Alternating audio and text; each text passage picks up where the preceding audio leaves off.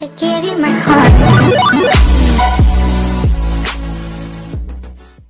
Friends तो कैसे हैं आप लोग? आपका स्वागत है मेरे इस चैनल फिल्मी सेंट्रल में। फ्रेंड्स इस वीडियो में हम आपको मिलाएँगे the voice of Nepal season three के विनर से। तो फ्रेंड्स इस वीडियो को पूरा देखिए। फ्रेंड्स नेपाल का सबसे मनपसंद singing reality show the voice of Nepal season three का ग्रैंड फिनाले बहुत ही धमाकेदार तरीके से हो चुका है। और हमें मिल चुका है the voice of Nepal season three का winner the voice of Nepal season three का ग्रैंड फिनाले हुआ। टॉप फोर फाइनलिस्ट के बीच और वो थे आर्यन तमंग, दीप श्रेष्ठा की टीम से, ज्वाला राय, तृष्णा गुरुंग के टीम से, किरण गजमेर प्रमोद खरेल की टीम से और तारा श्रेष मगर राजू लामा के टीम से। इन चारों फाइनलिस्ट ने the voice of Nepal season three के ग्रैंड फिनाले में बहुत ही ज़बरदस्त सिंगिंग परफॉर्मेंस दिया और इन चारों के कोचेस ने भी अपने अपने शानदार सिंगिंग परफॉर्मेंसेस दिए।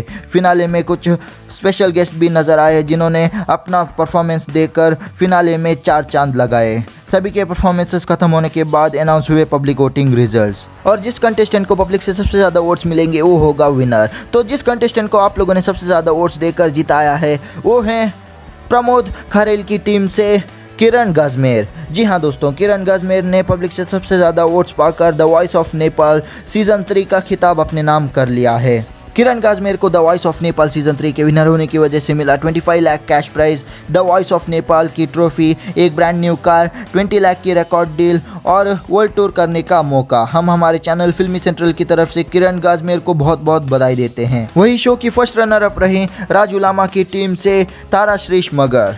तो फ्रेंड्स क्या आप इस रिज़ल्ट से खुश हैं या नहीं? हमें कमेंट करके ज़रूर बताएगा साथ ही साथ ये भी हमें कमेंट करके बताइए कि आपके हिसाब से the voice of Nepal season three का विनर कौन होना चाहिए था? अगर वीडियो आपको पसंद आई तो इस वीडियो को लाइक और शेयर ज़रूर कीजिए और भी ऐसे ही रियलिटी शो से जुड़ी लेटेस्ट जानकारी के लिए हमारे चैनल को सब्सक्राइब कीजिए। साथ ही साथ बेलकन को भी प्रेस कर दीजिए।